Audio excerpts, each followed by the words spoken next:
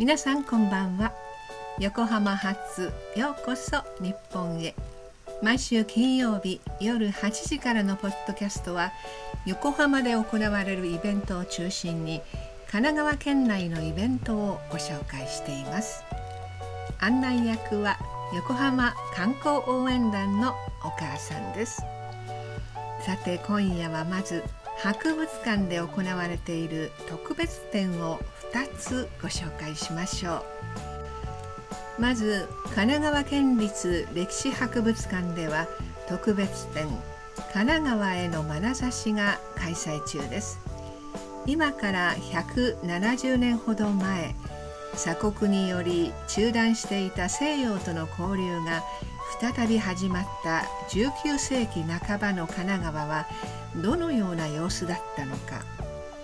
開国初期に来日した西洋人は神奈川の原風景を多彩な記述とともに絵画や写真などに記録していました。この特別展では現代人が知らない神奈川の原風景が楽しめます。開催期間は10月6日日曜日まで。休館日は月曜日ですが振替休日の9月16日と23日は開館します。9月10日火曜日は展示替えのため特別展は開催されません。開館時間は朝9時30分から5時まで。最寄り駅はみなとみらい線馬車道駅。3番と5番出口から徒歩1分です。5番出口にはエスカレーターとエレベーターがあります。また市営地下鉄関内駅9番出口と JR 桜木町駅新南口からは徒歩5分となっています。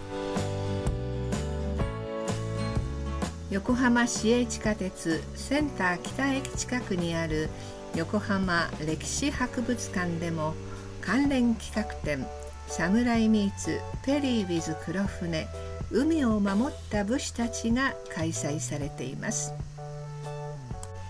今年で開国のきっかけとなったペリー来航から170年。そのペリー来航に際して警備に当たった武士たちの活躍はあまり知られていません。彼らは最前線でフェリー艦隊と対峙し自らその体験を日記や手紙に記しています。現場で警備を担った武士たちにペリー一行の来航はどのように映っていたのでしょうか。この企画展の会期は9月1日の日曜日までです。会場は横浜市歴史博物館。開会時間は朝9時から5時までです。休館日は月曜日です。最寄り駅は横浜市営地下鉄センター北駅です。さてみなとみらいランドマークプラザ5階にあるお旅所横浜能楽堂をご存知でしょうか？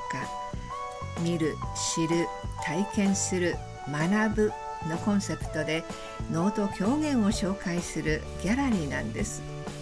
現在こちらでは夏休み子ども能楽研究所をあさって25日の日曜日まで開催中です。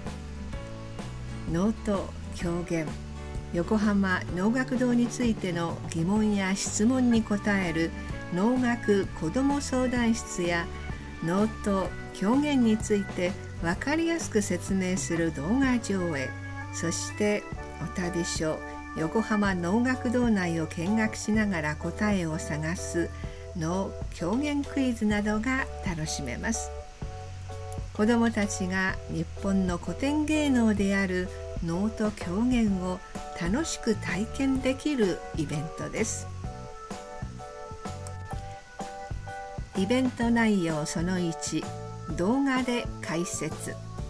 能舞台の仕組みや能と狂言の違い能の出演者の役割などを説明してくれます。その2脳狂言クイズ。お旅所横浜能楽堂内を見て聞いて答えを探そう。丸3読む脳狂言。情報コーナーには絵本や漫画解説書など能と狂言に関する本がたくさんあります。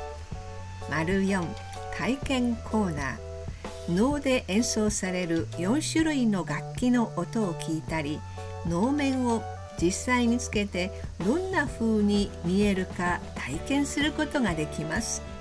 丸5なりきり写真撮影。能面をつけたように見える写真や道成寺の鐘の中に入ったような写真などを撮影することができます。丸6オリジナル能面工作。色を塗ったり福笑いのように目や鼻口を貼り付けて自分だけの能面を作ることができます。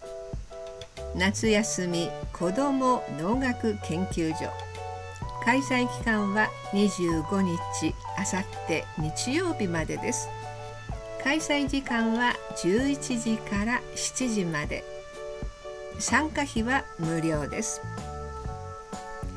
開催場所はランドマークプラザ5階のお旅所横浜能楽堂です。